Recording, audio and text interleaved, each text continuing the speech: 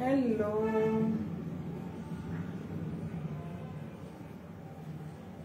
Hello आज हम समोसे का आलू का मटेरियल बनाने जा रहे हैं।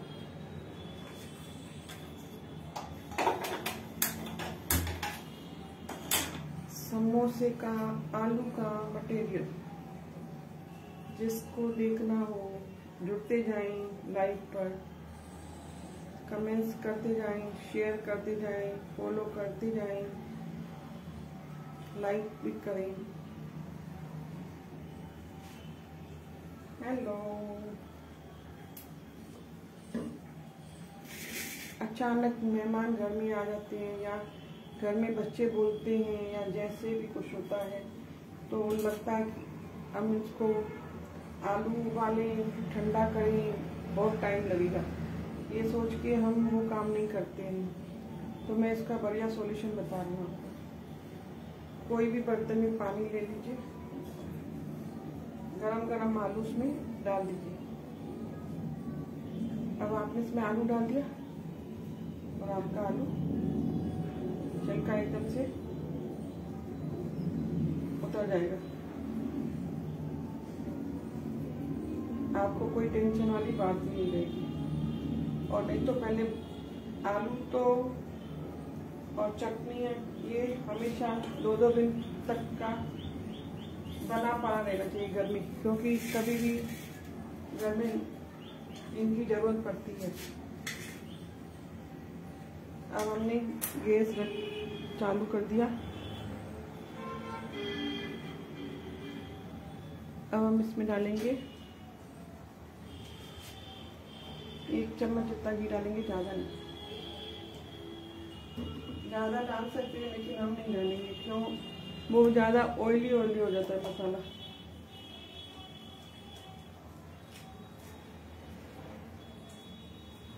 हींग डालेंगे, ये डाइजेशन को बहुत सही करता है। सौंप भी ज़रूर डालेंगे। ये भी बहुत ज़रूरी है। ये भी डाइजेशन के लिए है। ये जीरा। ये इसी का ही आप पराठा भी बना सकते हैं।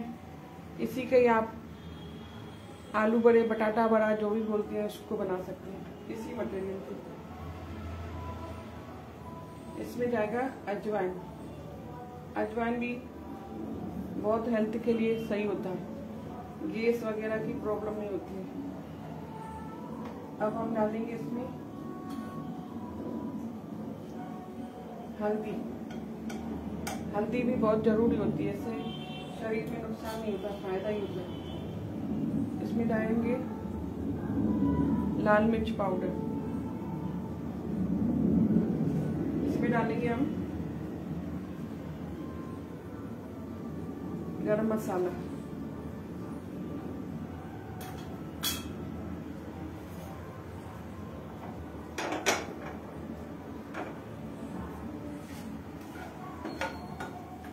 तरह इसका कलर आ जाएगा। आप चाहे तो इसमें प्याज भी डाल सकते हैं। चाकू से भी कर, सकते हैं। इसको इस तरह से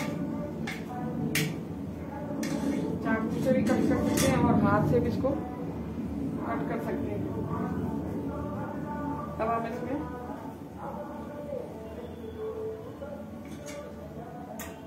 धनिया मिर्ची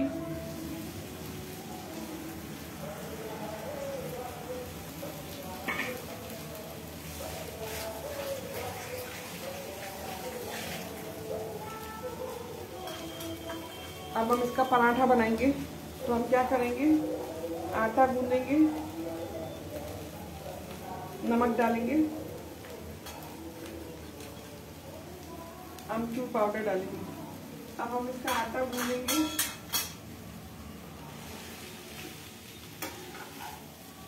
अब हम गैस बंद कर देंगे क्योंकि इसको ज़्यादा गैस पर नहीं रखना है। इसमें घी भी नहीं डालेंगे ज़्यादा। अब आप इसके चाहे समोसे बनाएँ, चाहे पराठा बनाएँ, चाहे आलू बड़ा बनाएँ, ठंडा करके। अब हम इसका पराठा जब बनाते हैं तो उसका आटा थोड़ा गीला बनाएँगे गूंदेंगे ना तो पराठा बहुत अच्छा बनता है, फटेगा नहीं। और आटा सूखा होगा ना तो आपका पराठा फटता रहेगा। और समोसे के लिए मैदा गूंदेंगे। मैदा गूंद के मैदे में हम डालेंगे घी। नमक, अजवाइन और आटा गूंद लेंगे। समोसे का आटा सखत गूंदता गूंदते हैं और कचौड़ी का आटा गीला करते हैं। अब हमारा ये मटेरियल तैयार है। इसमें हींग की अपनी खुशबू आ रही है, धनिया की अपनी खुशबू आ रही है। अब आप इसको नाश्ते में जो भी बनाना चाहें, इसका ब्रेड रोल भी बना सकते हैं। अगर आप पराठा खा रहे हैं तो छाछ के साथ खाएँ तो आपको बहुत मज़ा आएगा। सुबह का नाश्ता। एक पराठा खा लिया, दिन भर की छुट्टी, रात को खाना खाएँगे। तो आलू का पराठा भारी होता है। दिन में फ्रूट खाएँ। आपको कैसा लगा?